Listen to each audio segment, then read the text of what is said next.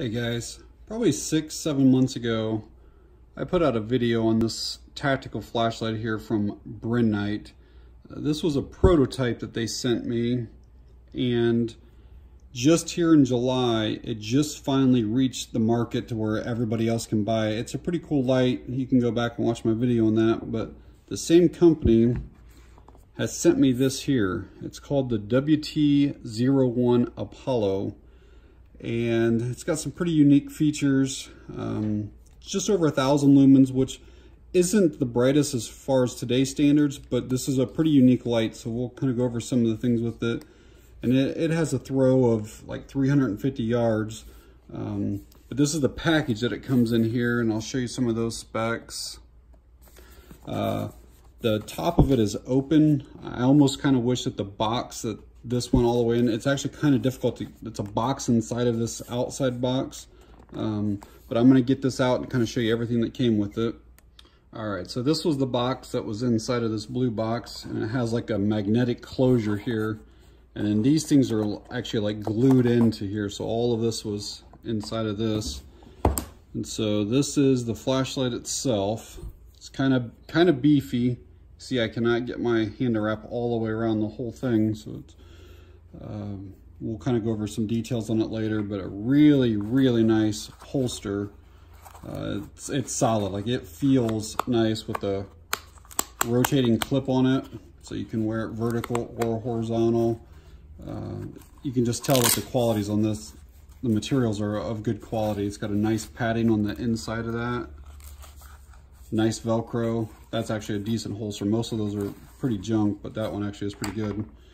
Uh, comes with a 26650 battery.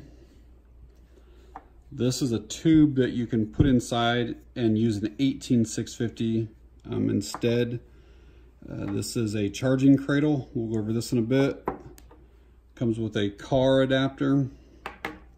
Comes with a micro USB cable and then mine came with the wall adapter, but it's a European style.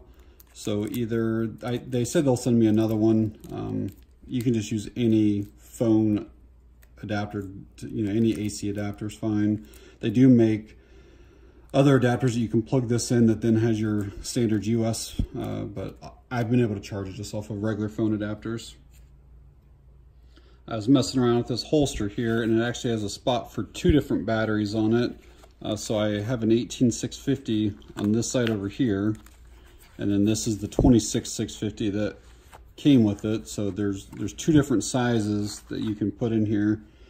Um, something else, uh, you know, I, I'm not 100% sure if the light is supposed to be bezel down in the holster or bezel up. It has this cutout here which it looks like the, the tail here is supposed to fit in. Uh, but when you do that, can you see how much of the Velcro is not, there's not that much that's actually sticking to it. So I, I would have much rather this Velcro to come all the way, like none of this is, is stuck at all on there. So I'd rather that come down. And then when you put it in the other way, like I actually think that it fits better the other way. And you can see how there's like this cutout right here and to me, it's a good spot to put that switch so that it doesn't get accidentally hit. But when you put it this way, that clearly doesn't go over it, but it seems like the Velcro actually fits better there.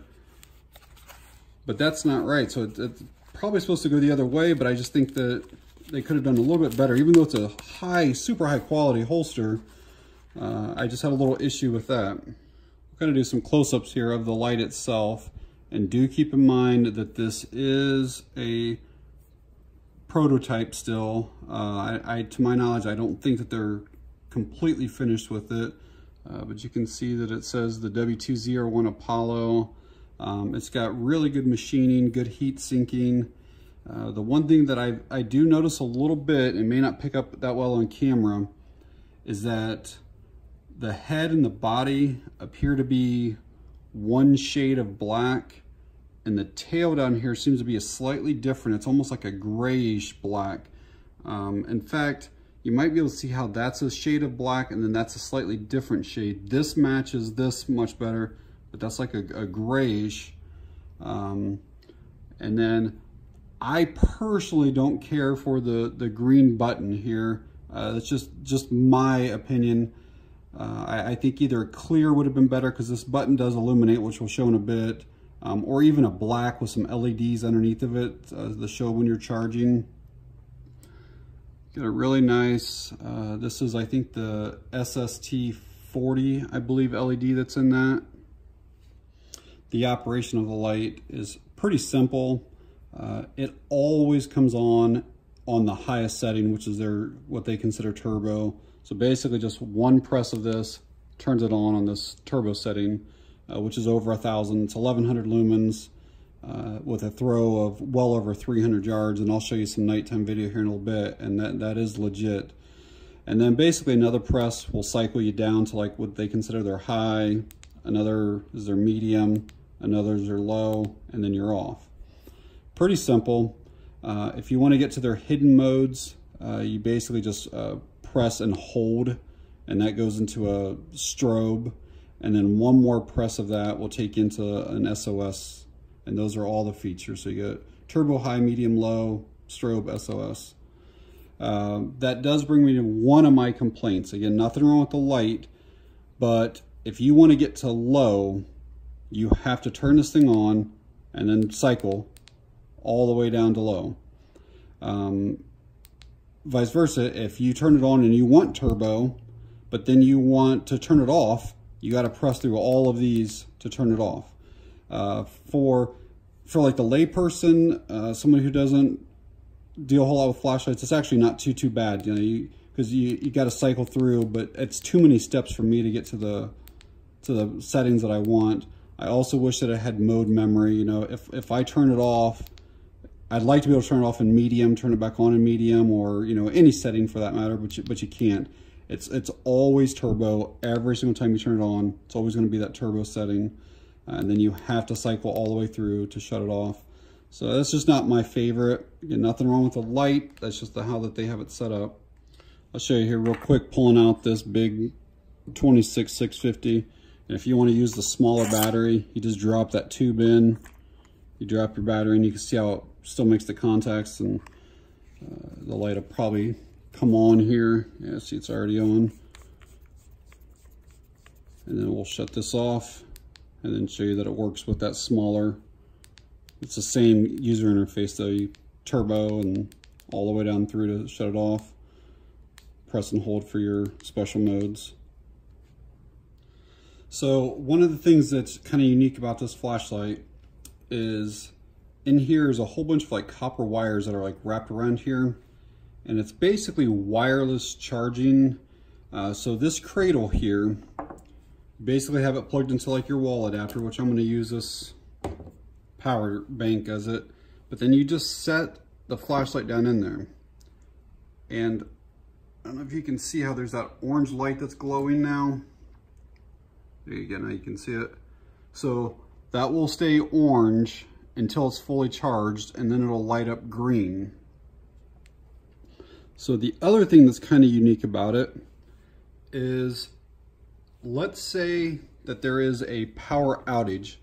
So I'm going to disconnect from here and the light automatically comes on then. See that? So it comes on on the low setting if there's a power outage. So another kind of nice feature about this Brinyte is that let's say you have it on the charging cradle and if it's fully charged, it's the full green light. If it's charging, it's the orange. But either way, you can see it in the middle of the night if you need a flashlight. And you walk over to it and you just pick it off of the cradle, the light automatically comes on too. Comes on in that low setting. And you can actually get over six days of continuous runtime on this low setting. It, it is pretty incredible. Uh, it's like 6.25 days that you can get out of it. But just overall, it, it's a really high quality light. I don't like that green switch for the appearance. Uh, I, think that they could have done a black with the LEDs and still have it show through.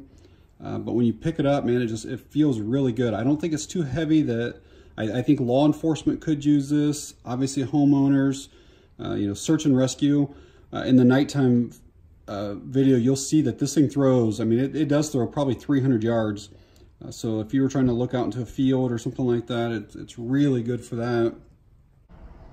Okay, outside here with this uh, Brinyte, about uh, probably 80 feet or so away from my house. We'll see what it looks like on high here.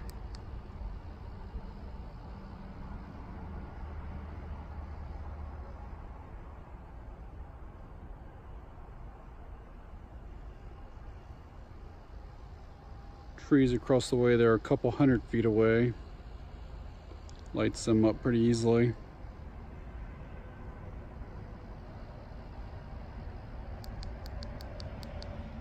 So my final thoughts on it is it is a pretty cool light. It's got some cool features with this wireless charging, how it automatically comes on during a power outage or uh, when you lift it off of it.